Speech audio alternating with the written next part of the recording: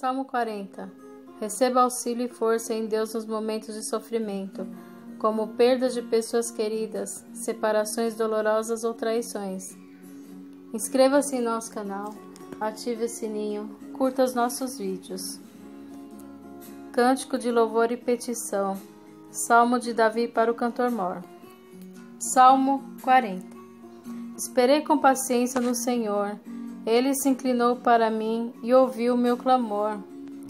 Tirou-me de um lago horrível, de um charco de lodo, pôs os meus pés sobre uma rocha, firmou os meus passos.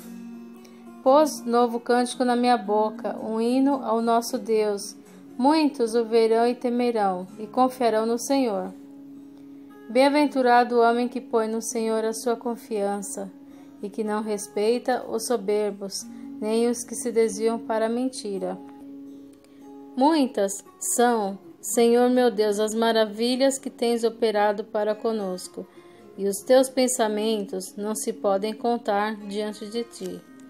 Se eu os quiser anunciar e deles falar, são mais do que se podem contar. Sacrifício e oferta não quiseste, os meus ouvidos, ouvidos abriste, holocausto e expiação pelo pecado não reclamaste. Então disse: Eis aqui venho, no rolo do livro de mim está escrito. Deleito-me em fazer a tua vontade, ó Deus meu, sim, a tua lei está dentro do meu coração. Preguei a justiça na grande congregação. Eis que não retive os meus lábios, Senhor, tu o sabes. Não escondi a tua justiça dentro do meu coração. Apregoei a tua fidelidade e a tua salvação. Não escondi da grande congregação a tua benignidade e a tua verdade. Não retires de mim, Senhor, as tuas misericórdias. Guardem-me continuamente a tua benignidade e a tua verdade.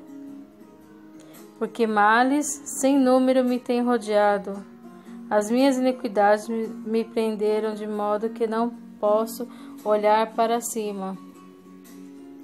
São mais numerosos do que os cabelos da minha cabeça, pelo que me desfalece o meu coração. Digna-te, Senhor, livra-me, Senhor, apressa-te em meu auxílio.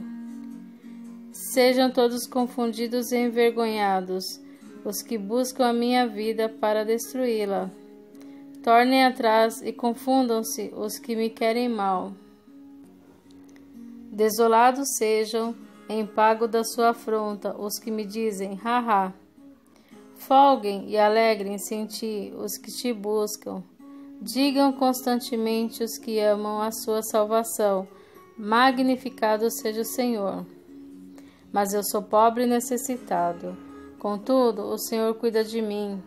Tu és o meu auxílio, o meu libertador. Não te detenhas, ó meu Deus. Amém.